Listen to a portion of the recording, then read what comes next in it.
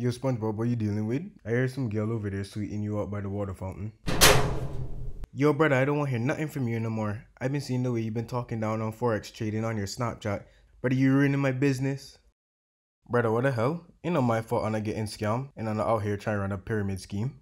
It's not a scam or a pyramid scheme, and you would know if you did your friggin' research. You better watch your tone with me, little boy, see if I don't box in your face. You lucky I don't rock your jaw right now? A fight happening right now? Fight, fight, fight, fight, fight, fight. I hope you're ready to get the workings. Shut your mouth, brother. You about to hold these fists to your lip. You fucker. Fight, fight, fight, fight, fight, fight, fight, fight, fight, fight, fight, fight, fight, fight, fight.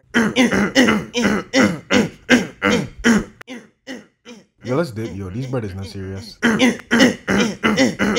what on earth is going on here?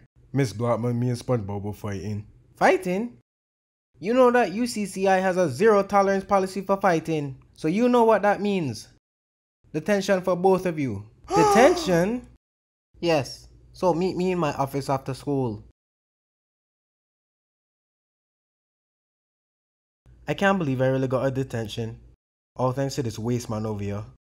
Patrick, I hate you. Brother, shut up. Nobody never asked you all that. Brother, lock your mouth. I can smell your top lip from over here. At least I don't use my mouth to sell scams to people. I keep telling you it's not a scam. In fact, you should just go Egypt since you like building pyramid schemes. I mean scams. Make sure you keep the same energy when we get out of here and I see you on road.